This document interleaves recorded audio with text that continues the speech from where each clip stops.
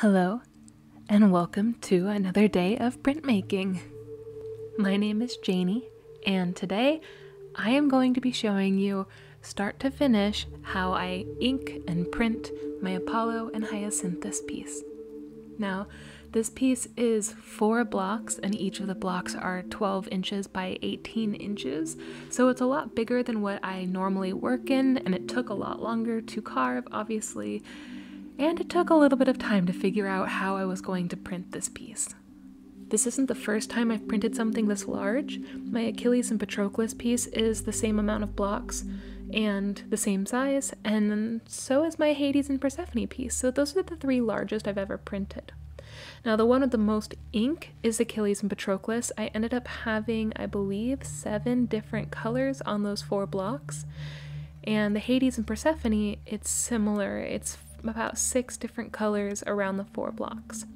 Now, this one, I made things a little simpler on myself, and I only have five main colors to mix, and that's what you see me doing here with the inks. I am simply taking the old ink out, the ones that I mixed last night for my test prints, and I am just making sure that I'm saving the ink, that I'm thinning it out a little bit because some of them are a little bit too thick because the ink is a little bit old.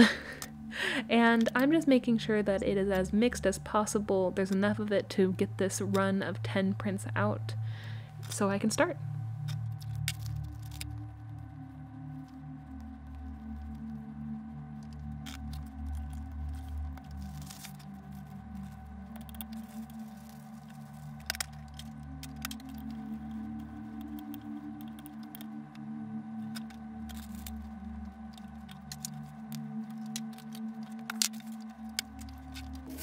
Now, one thing you'll see me adding throughout this process is something called a transparent base.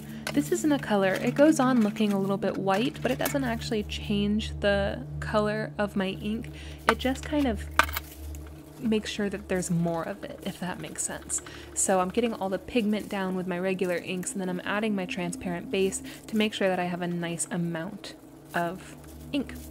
When I roll it onto the rollers, that's called loading your roller. So you're going to see me doing that several times throughout this process as well.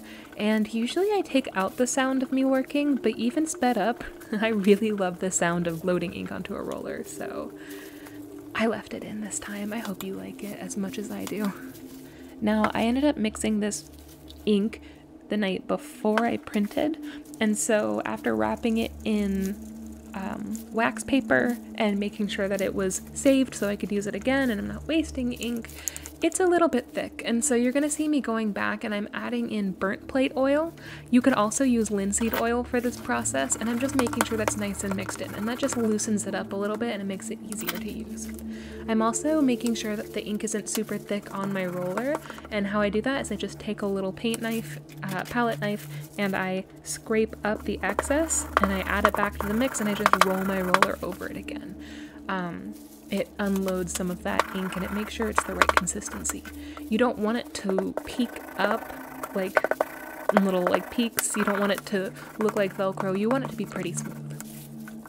That being said, because I print at home, I tend to load a little bit more ink on than like traditional printmakers would.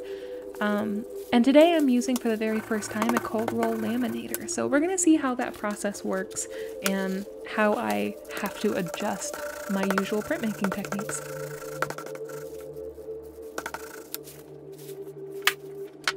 Another thing you might notice, you might be wondering about, is the fact that there are holes cut out of all of my blocks. And this is for a very good reason, and it's that I couldn't get the open areas of the block that I didn't want carved, I couldn't get those completely clean. Every time I would ink them, ink would inevitably transfer onto those parts and then would just get into the actual image and kind of muddy things up a little bit. So I cut out the high, like the areas with high traffic, I'm gonna call it, lots of chatter, um, especially around both of their faces and on the whites of their shirts, just to make sure that it's, you know, as clean as possible.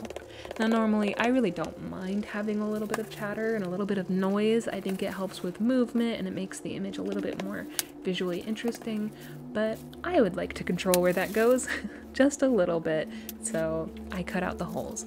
Now, later on, I actually cut out way more pieces. Um, just because you'll see at the end of this, lots of noise still occurred on their shirts. Um, I cleaned these with oils at the end, and so a lot of oil got into the first print. Um, I just wanted to make sure that they were as clean as possible.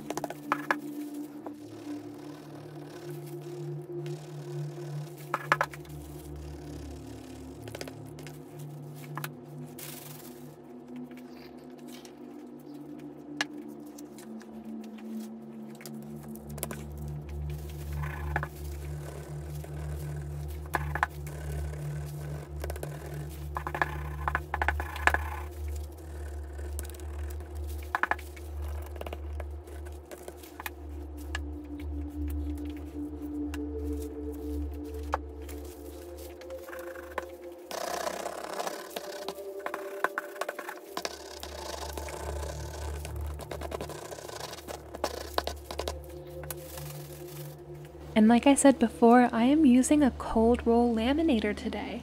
Now I've seen lots of other printmakers use these instead of traditional presses. There are a couple of perks to getting a cold roll laminator. One of the main ones is that it's not as expensive as a actual press. Those can run you hundreds if not thousands of dollars. Those are also really really large usually, so you have to have a pretty big studio space in order to have them. And I work out of my home. And I don't have a lot of money, so this really did kind of help me out. Um, I put it right on my table, it folds up and down, and I can store it in different places if I have to, so I'm, I'm a big fan so far.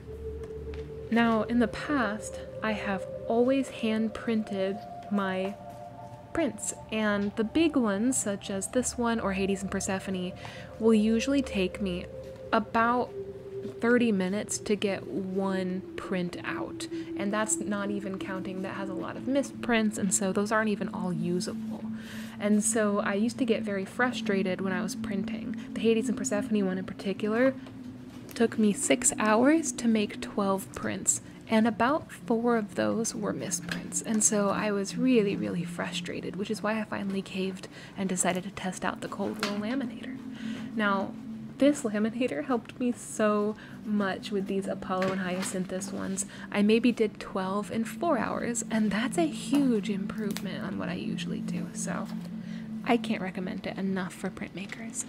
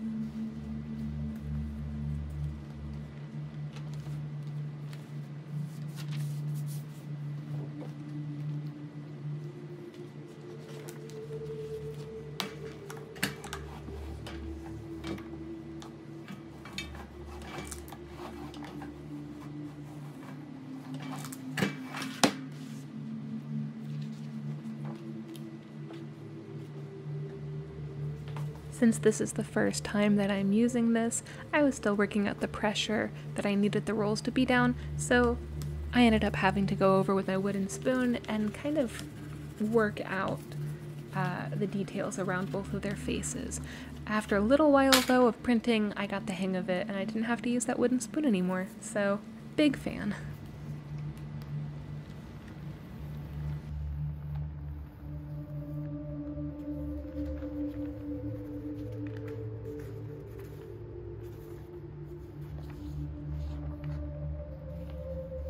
And there you have it, a print that isn't perfect this round, but I eventually cut out the areas where the ink transferred and I got a pretty great print that I'm proud of.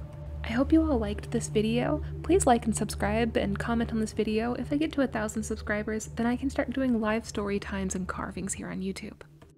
I hope you all have a wonderful day and I'll see you next time. Bye!